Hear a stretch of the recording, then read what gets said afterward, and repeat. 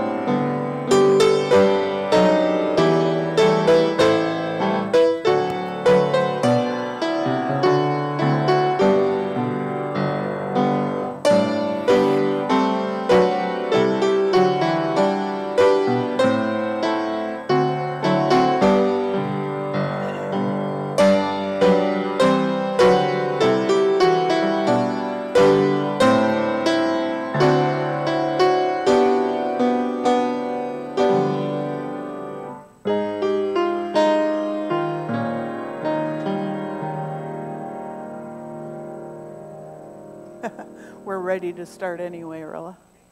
Awesome. Good. Good morning. We're slowly starting to fill up again. That's so nice. It's wonderful. We're so glad that you're here, and uh, we welcome you to a time of worship and of just being with each other again. And uh, I see everyone slowly getting haircuts. That's so much fun.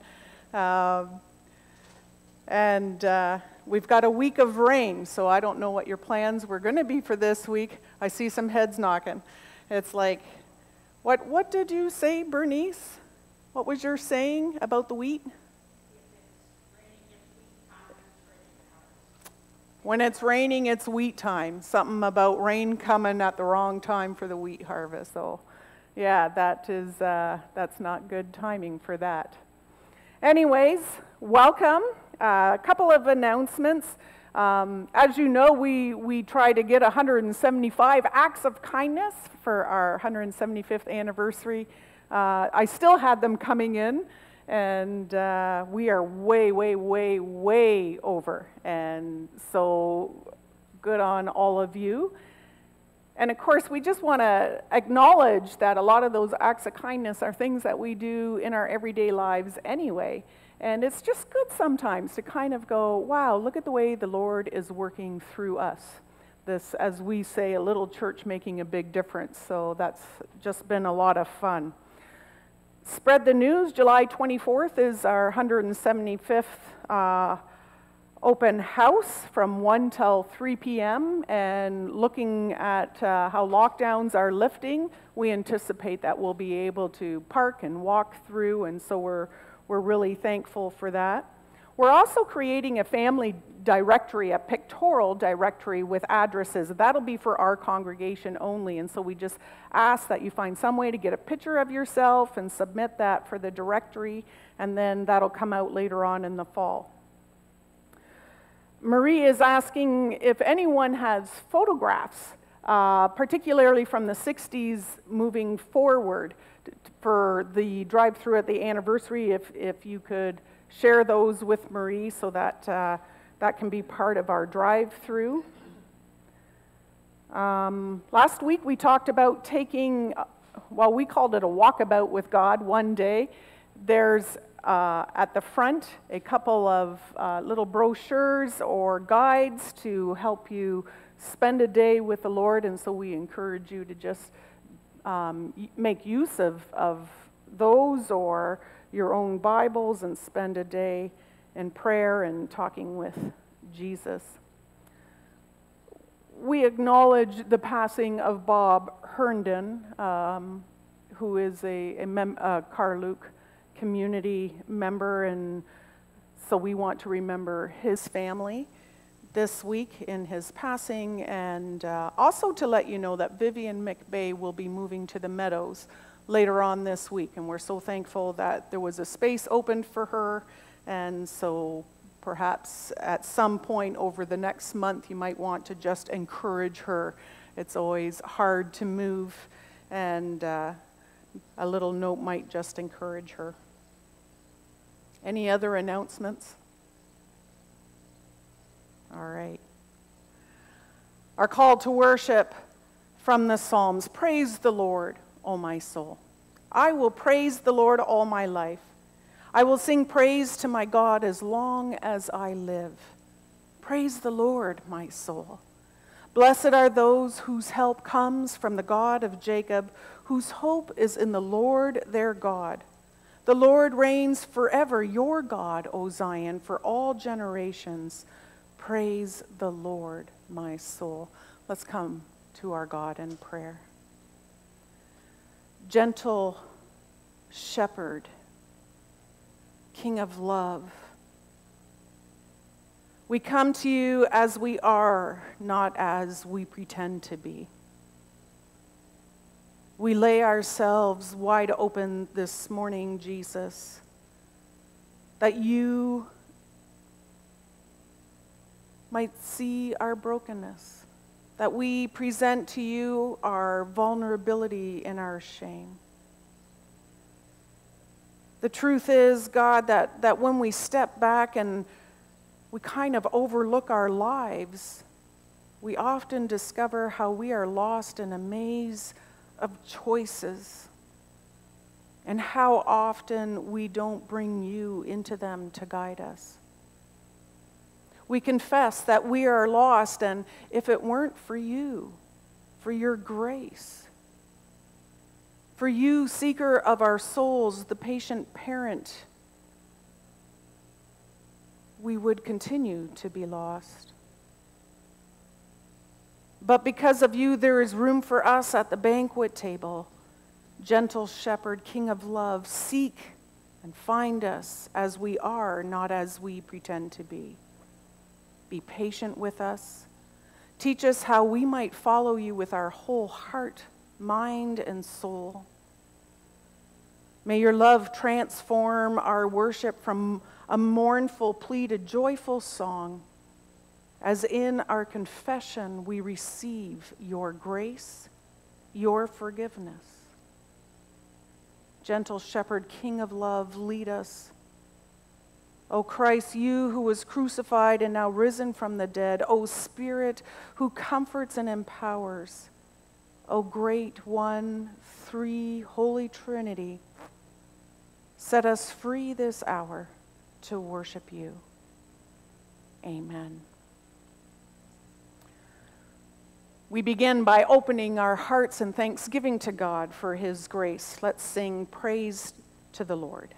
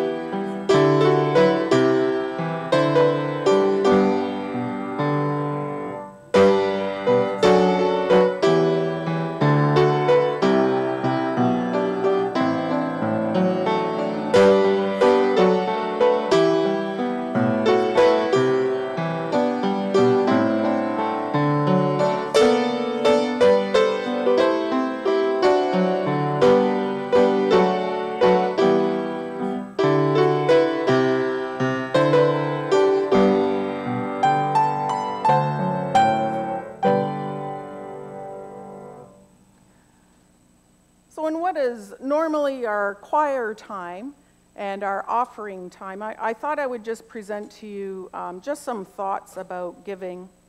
And so I wonder if you know who the greatest financial, financial advisor in the Bible was. Anyone? No? Um, Noah. He was floating his stock while everyone else was in liquidation. I thought that was a good one. Yeah. I actually came up with a good one. Usually you just go, oh man, Nance. Who was the greatest female financial advisor? Any clue? Pharaoh's daughter. She went down to the bank of the Nile and drew out a little profit. All right, moving on. I invite Marie up to read our scripture this morning from Genesis 28.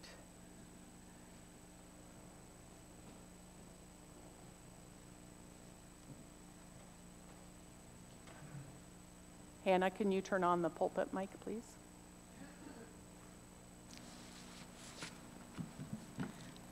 Genesis 28, verses 10 through 22. Jacob left Beersheba and set out for Haran. When he reached a certain place, he stopped for the night because the sun had set. Taking one of the stones there, he put it under his head and lay down to sleep. He had a dream in which he saw a stairway resting on the earth with its top reaching to heaven, and the angels of God were ascending and descending on it.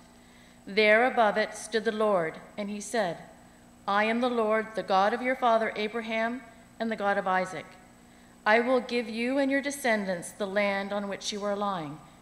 Your descendants will be like the dust of the earth, and you will spread out to the west and to the east, to the north and to the south. All peoples on earth will be blessed through you and your offspring. I am with you and watch, will watch over you whenever you go, wherever you go, and I will bring you back to this land I will not leave you until I have done what I have promised you.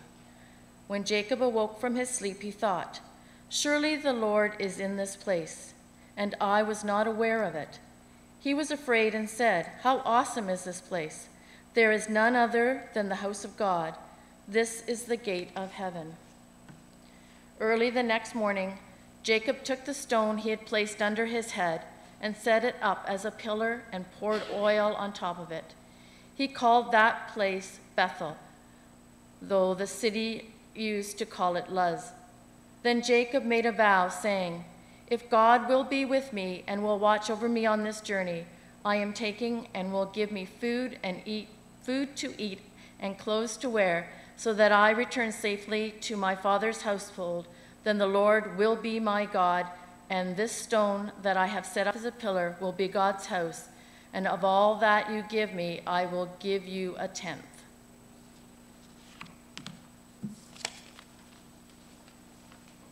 Thank you.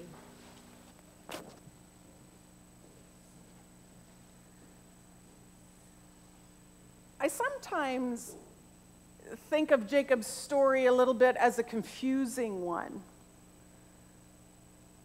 we know Jacob is one of the patriarchs who receives this promise of great blessing and that all nations will come from his forefathers and him.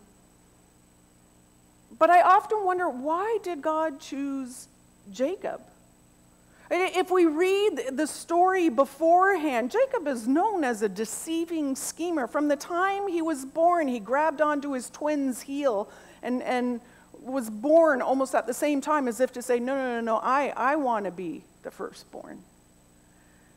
And then he cheats his twin out of his birthright, and he cheats him out of his blessing. He's, he's always conniving. And here in this story, just prior, and Jacob is fleeing for his life because their father Isaac has just died, and basically Esau has said, now that daddy's gone, you're next. He puts a bounty on his head, so to speak. And so Jacob runs. You see, I, I get that God chose Noah because he was known for his righteousness. I get that God called Abraham, he was known for his faith. But Jacob? Here he is running for his life because of the consequences that he himself created. He angered his brother by cheating him out of most of his life. And he's gotten the blessing, he's been promised the inheritance, and, and now fleeing for his life, he's got to leave that all behind to protect himself. So far, there, there doesn't seem to be a lot of redeeming qualities in Jacob. Nothing so far really has indicated that he's following the Lord or that he walks with him as his father Isaac did. So, here on our text, while Jacob is running, the sun sets on his ambitions. And exhausted and defeated, he picks up a, or finds a rock and he uses it as a foundation for his head. Stones in his soul, so to speak. He's sleeping on the hard bed that he himself had made. And so we understand why God came to Noah or to Abraham. But it is overwhelming grace that we see when God comes to Jacob in his sleep in a dream. And what's so amazing about this dream is, is earlier in Scripture, we often read that when angels come, it was the angels who would give the message. But here, the angels are going up and down, opening the gates of heaven, and it is the Lord Himself who stands at the bottom of the ladder and speaks to Jacob. And what does the Lord say? He says, Jacob, I'm going to give you these unconditional promises. This is what's going to happen. I am the God of Abram and Isaac. And I will give you this land just like I promised your dads. I will bless your children, and the whole world's going to be blessed through you. I am with you, and I will not leave you. Incredible promise. Jacob's heart is melted by the presence of the Lord. He's, he's fearful. And, and for the first time, maybe he sees that the God of his father Isaac and his grandfather Abraham is his God. A God who has now set a new direction for Jacob's life. You, you don't have to scheme, I'm going to give it to you. The Lord gives Jacob this providential promise of a future nature nation that will bless the earth and a people who will be the inheritance of God. We're not talking just a small inheritance from daddy, we're talking land from the Lord. And upon wakening, Jacob immediately transforms this rocky pillow of his stony soul and he, he builds it into a pillar to worship. And he declares, God is here. This is Bethel. This is God's house. Jacob will now journey with the Lord as his Lord, having been fearfully transformed by God's presence, but there remains a problem. And I don't know if you recognize that in the scripture. See, he, his response is a bargaining with God. It's just his old nature, it's what he does. And so he says, Wow, God, this is, this is exciting. I, I like these promises. And then what does he say? If you will go with me, if you will give me everything that I need for this journey, if you let me return home, then you will be my God. Then I'll give you a tenth of my wealth. What was he thinking? Well, if God gives me a, the wife that I'm looking for, where my mother has sent me and I'm journeying to now, and, and if my, my God, this God brings me back to the land of my parents where, where I know I have an inheritance, well, then, you know, I'll give him a tenth of daddy's money. Is that what he's thinking? Jacob doesn't recognize that God has given him a providential, unconditional promises, and yet his old scheming nature comes through. Bargaining with God to bless his plans, his ideas.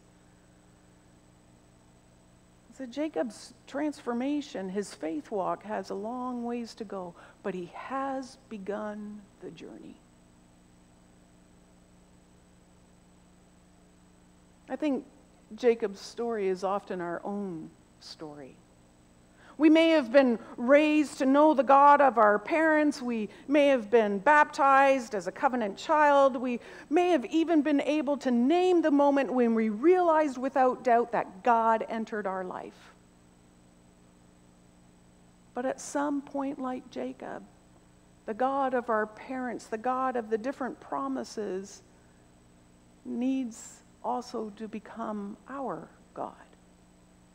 Where we respond personally to his presence in our life, to claim Christ not as just the Lord of our parents, but the Lord of our lives. And that response and call for growth and change comes from God in the midst of how we are behaving and invites us to follow him. Not because he's always accepting of our behavior, but because he loves us in spite of it. And then calls us to follow him in faith, in obedience, in trust, in surrender to his will, to be transformed, to transform those stones in our soul into pillars of praise to God with our whole life. You see, our, our challenge, once we have met the very presence of the Lord, is not to remain stubborn and prideful, to not let our faith stagnate and go, Yeah, I've met the Lord, it was good. Now, if. Jacob realizes the dream was a face to face encounter with the God of his fathers. And, and he realizes that this hard pillow that he's sleeping on needs change. And so he worships God. And although Jacob's response is left of center, he does choose the Lord to be his God. Because he's met him face to face. And, and, and maybe because that happened, there's a part of Jacob that goes, Wow, I, God knows me. He knows what I've done. So the God of Abram and Isaac has now become I am the God of Abraham, Isaac, and Jacob.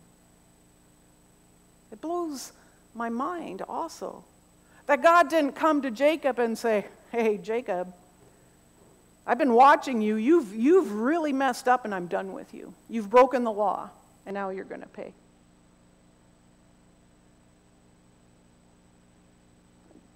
Dear friends, we mustn't continue believing the lie that says, I've done something so terrible that God allows bad things to happen because of what I've done.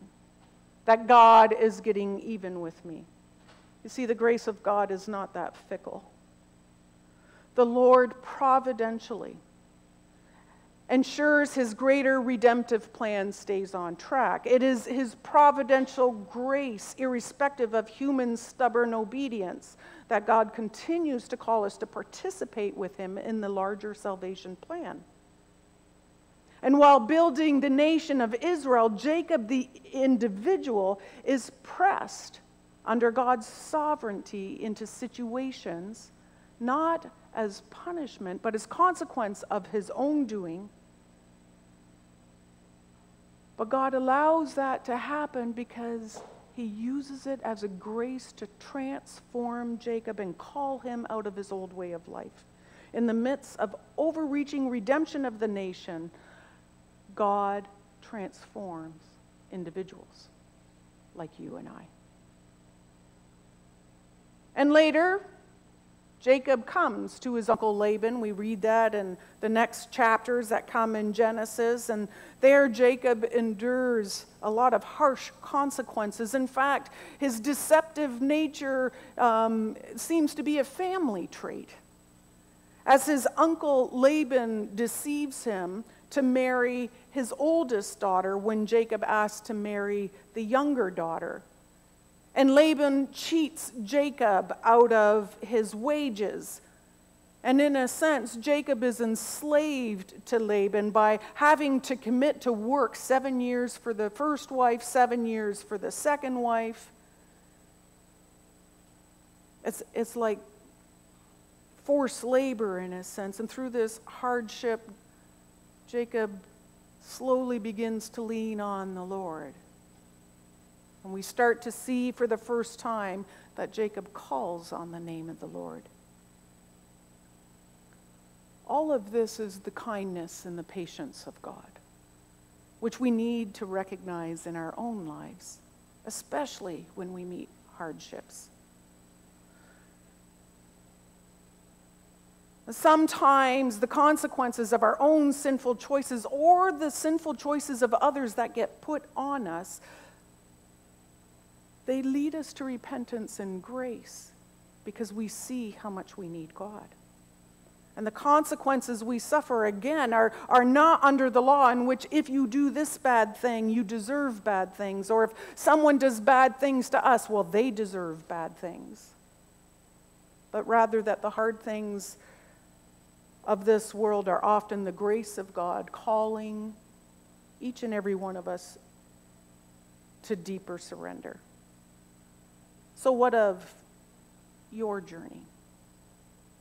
Might you still be bargaining, reasoning that if God will fix this problem or that issue in your life, if He will heal or if He will prove Himself, then you will follow? Then you will give Him a tenth of your time of your finances or whatever, then you will believe and surrender and allow Him to work in your life? Or might we hear today as Jacob did? The assurance of the God who says, You don't need to orchestrate your life or make things happen because I already have given you a promise. I am your God. I have a providential plan. I will provide for you. I am with you. I will not leave you. Fall under my grace. Be called into my kindness. Allow me to transform you. Might we allow this kindness of God who sent Christ to transform the stole, stones in our souls to become pillars of worship? strengthening us in faith and surrender to the Lord. We hear those promises from God throughout Scripture in many places, and particularly in Romans 8. And I've just taken a couple of verses. The Spirit helps us in our weaknesses. We do not know what we ought to pray, for the Spirit Himself intercedes through wordless groans and a verse out of the message, which I think puts it very plainly. God knew what he was doing from the very beginning. He decided from the outset to shape the lives of those who love him along the same lines as of his son. The son stands first in the line of humanity he restored. We see the original and intended shape for our lives there in Christ. And after God made that decision, of what his children should be like, he followed it up by calling his children by name. And he stayed with them to the end, gloriously completing what he had done and returning to the NIV with that verse that we all know and love. People of God, be convinced that neither death nor life, nor angels nor demons, neither the present nor the future, nor any powers, Neither height nor depth nor anything else in all of creation will be able to separate us from the love of God that is in Christ Jesus our Lord. Thanks be to God. Amen. Let's pray. Lord God, your promises go with us wherever we are. And, and we've come to this place of worship because we know that you have done things in our life that have rocked our boats, that have changed us, and that have called us to surrender to you. And we know, Lord, sometimes we get content. Yeah, I've met the Lord. Yeah, He's great. And then our human nature comes out, the, the struggles that we face in life where we forget to call on you. And, and sometimes, Lord, we know we bargain with you. And so we thank you for your word that reminds us that you are patient when we travel the wrong path that you are loving and kind when, when others have harmed us and caused great conflict in our lives. We pray, Lord, that we may grow in the confidence and the assurance of your promises that you are with us and that you never leave us. We thank you for that, Lord Jesus. And so we surrender more of ourselves this morning and invite your spirit to enter in and lead us toward greater discipleship. And Jesus, as we come to you, we know that we can ask for anything in your name. And you know those things that are on our hearts. You know those struggles that we have. You know the tension in relationships. You know the grieving that continues. You know the physical pain that we suffer. You know the anxiety that comes into our lives. You know all of these things. For each one of us, Lord, we just, we just lift up whatever our struggles are, wherever we need to invite your assurance in, and we trust, Holy Spirit, that you would heal, that you would bless, and that you would come mightily with your presence. Jesus, we, we pray especially for the Herndon family as they grieve the loss of Bob. Would you surround them with your comfort? Would you lift them up with your strength? And would you fill them with the peace of Christ? We pray that you would be with Vivian as she makes a move this week. Would you grant her peace also? We pray that she may find great blessing in her new home and the care that she needs.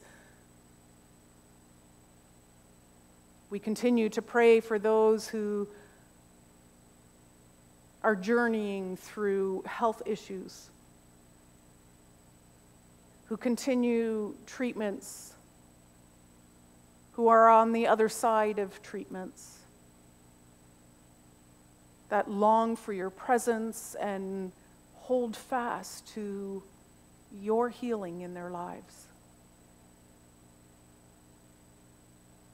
Father, we pray for this world and, and we see lockdowns opening up and, and we get excited, and yet we know that in Canada, maybe we're much further ahead than poorer countries in which medical help isn't as readily available or in which good nutrition is also lacking.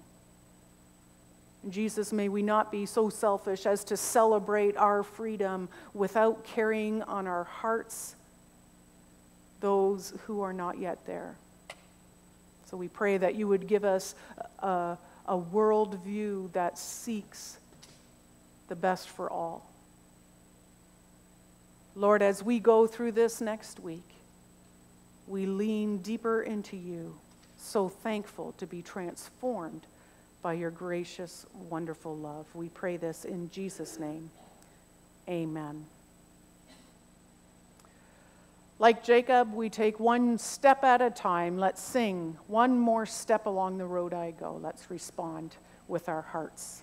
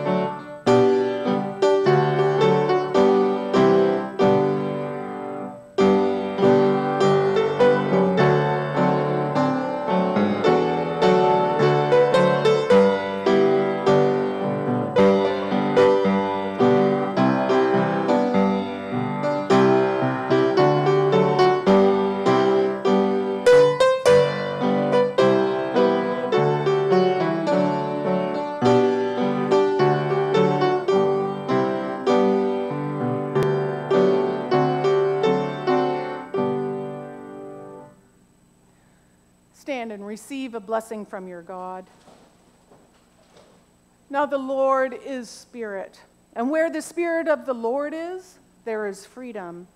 And we all who with unveiled faces contemplate the Lord's glory are being transformed into his image with ever increasing glory, which comes from the Lord who is Spirit. May the grace of God the Father, the Son, Jesus Christ, and the fellowship of the Holy Spirit be with you. Amen.